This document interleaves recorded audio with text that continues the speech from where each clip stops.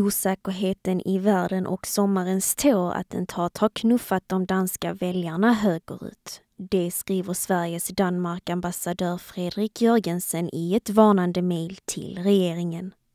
Samtidigt varnar han för att en politisk kris skulle utlösas i Danmark om gränskontrollerna i regionen försvinner eller trappas ner påtagligt. Fredrik Jörgensen skickade sin analys till bland andra Stefan Löfvens statssekreterare Hans Dahlgren och kabinettssekreteraren Annika Söder den 19 augusti i år. Han konstaterar i mejlet, som delvis är sekretessbelagt, att regeringen i Danmark står inför en mängd utmaningar under hösten.